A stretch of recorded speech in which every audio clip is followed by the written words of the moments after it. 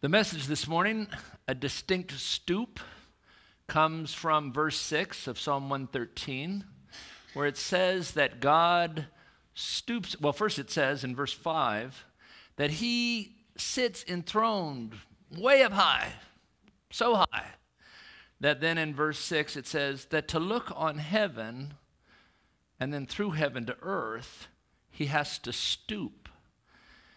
And that image touched me, obviously.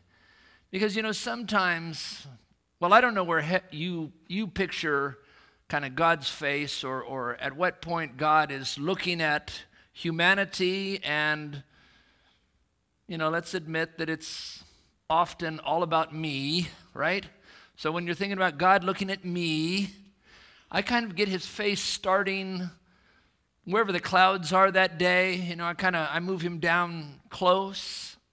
But this Bible verse shows what they always taught us in, in Hebrew at seminary. There are so much humor in the Bible from God's perspective. Because, you know, we get pretty impressed with ourselves all the time. And in Hebrew, at least, and as you see in Psalm 113, it's hard to think that you're all that big if you make God as big as God is. That He is sitting up there, not where the clouds begin, maybe not even where the universe ends. We have no idea how much space there is beyond that. And let's face it, we're, it's a pretty big galaxy. But all of that is contained like maybe in one hand of God.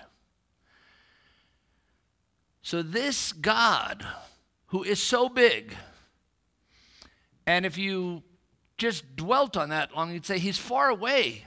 How can He care about the things of man? It's worth remembering He has a distinct stoop. He kind of we had this distinct stoop while we were in Costa Rica. It was from all the heavy lifting. But his distinct stoop, God's distinct stoop, is an intentional stoop. He is all the way out there, and then he chooses intentionally to look down on us. And I, I think, well, it humbles me to think that in order to look at me, it's funny how things are reversed from God's perspective. It said there in the psalm, he sees heaven first and he has to look through heaven and, you know, the high altitude thing to see the earth. And I thought, oh, never thought about that, that God has to choose to look, bypass the clouds, bypass a whole bunch of stuff to look down low. And yet he does. And then it's not just look down low, because if he just wanted to kind of see humanity or, or the, the, the things that are visible, he's going to see the best. He's going to see the most powerful. He's going to see people who are succeeding because they're the faces that are on billboards, they're the faces that are in front of microphones. Those are the faces that are so visible in our culture. But that's not who he sees when he chooses to stoop to kind of peek in his little, his little viewfinder. Oh, it says that he lifts the poor out of the dust. And that is a countercultural message. I want to say it's even countercultural in the church because we tend, I mean, I appreciate all the all the adoration I get, but I realize you guys keep me because of Glenda, who, by the way, is not well today, if you're wondering where she is. But even in church, it is often the, the noisiest, the flashiest to get all the attention. But that's not who God is looking at in Psalm 113. He's looking for the needy and the poor. And he lifts one out of the dust and the other out of the garbage heap. Anytime you see ash heap in the Old Testament, that's saying he picks them up out of the trash. And I thought, oh, I sometimes don't remember that about God. that he could choose to look away if he wanted to. He doesn't have to look at this mess. He could just look at the beauty of creation. It's amazing. And you think about from his perspective, I, I, mean, I don't know how often you look at the pictures out of the, it's not the Hubble anymore. What do we call this new telescope that we all spending our money on? Anyhow, your tax dollars and my tax dollars at work. But there's some awesome pictures. And I think if I were God, I could spend all day scanning, or as we now scroll, you know, oh, I forget what whether it's left or right that you do when you're on a phone. No wonder I can't get back to messages. If you haven't got a message from me, I scrolled the wrong direction and lost it.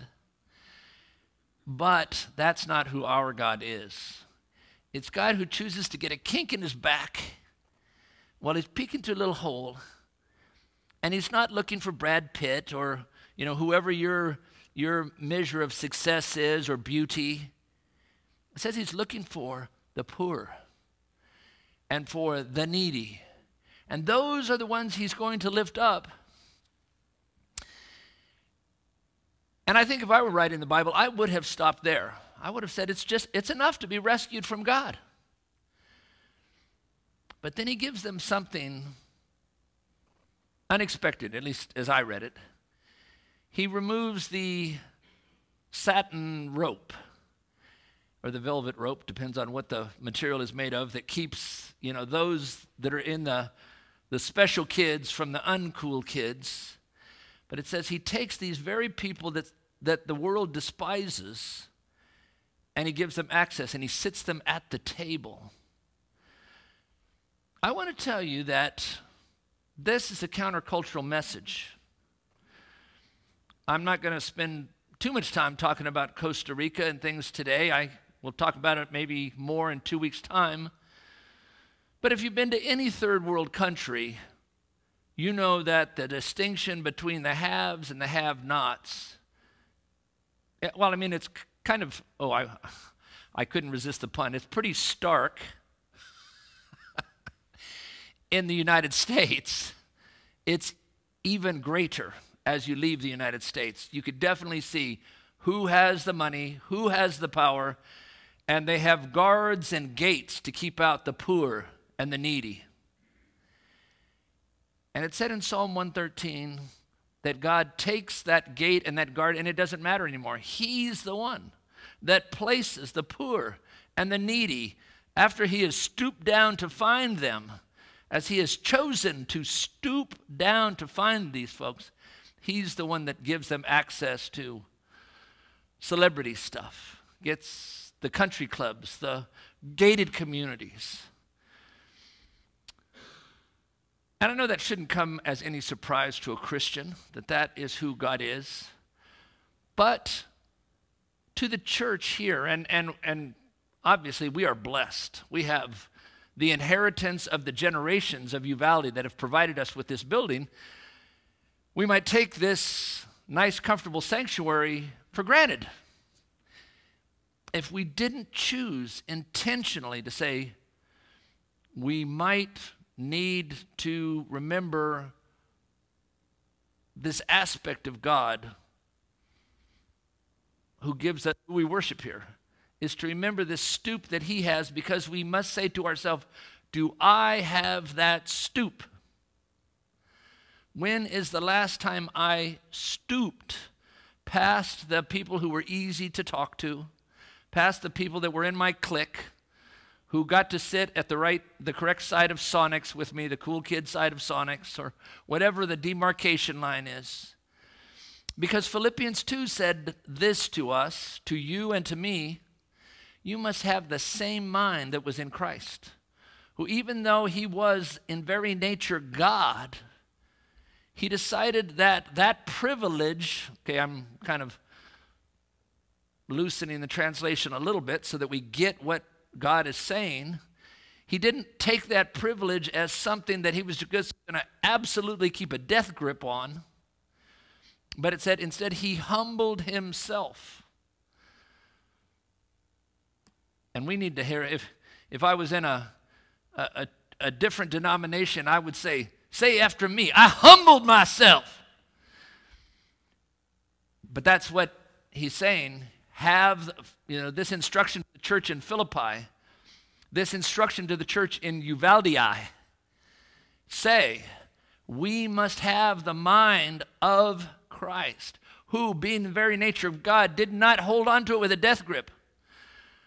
We have this inheritance of over a century and a half, but we can't hang on to that with a death grip. We have to take the form of a servant. He left, he had all the power of God, and he put that aside because he has this distinct stoop. In the Old Testament, it was from above. In the New Testament, it's boots on the ground. And it said he humbled himself and he took on a different nature, the nature of a servant, so that he couldn't expect frontline privileges. And of course, it struck me in, in Costa Rica because we had frontline privileges. Being American missionaries, we were always, you know, uh, get out of the way. The American missionaries are coming in. And I thought, oh. But I couldn't deny that I looked like one. I was sharing how I got mocked in the grocery store because they knew by just looking at this boy, oh, that's an American. So they did, you know. And, and, and it's not that Americans don't mock other foreigners, so I didn't take it personally. I've traveled all over the world. I've been mocked in Iraq. I've been mocked in Afghanistan. I've been mocked in China. I think I get mocked in Uvalde sometimes with my new Australian hat that I wear. Yeah, I see people nodding. Okay, so, so I don't take it personally. but that distinctive look gave me front of line privileges, and I thought, oh, this is the absolute opposite of what I was hoping that we could do here. Well, the good thing is, y'all live in Uvalde, people know you they're not going to give you front of line privileges. if you decide to stoop to those that are poor and needy in your circle, you're going to get to do it authentically. You're going to get to do, yeah, just right there. And I think it will surprise people, especially if it's someone that you've had bad blood with for 40 years now. And until you were challenged. You were okay with them being in the garbage pile somewhere. But that word from Uvalde or Philippi is to you to say, take on the nature of Christ, who has a permanent stoop, a stoop that led him, as I said, he humbled himself to death, even death on a cross. If that is what our Savior chose to do, as he put on his stoop, how can we say we can't stoop? How can we say we'll not do that? We've been praying for you, Uvalde. I've always maintained that the transformation of Uvalde begins when the churches of Uvalde are transformed. When they begin to truly reflect Christ, of course, it challenges me. I have to say, oh, who have I walked by recently and not seen? Who has the Lord placed in my life that I must die to self, that I must become a servant of. And it's not just hugging Nancy Ham, but it's more than that. it's that real stoop, that real reaching down and saying, okay, Lord, you have made me your angel today. So that's my challenge to you as we go into the world after this service to recognize that the God who is so, so high chose to come so, so low. And he says to his people, Follow me. Let us pray. Oh Lord, let us be about your work. We thank you for your death in our place. But we also ask you for the faith to follow you, wherever that is, to stoop wherever we need to stoop because we know someone is waiting to meet Jesus in us, in our lives today. You're still alive and you live in us. It's in your mighty name we pray, Jesus. Amen.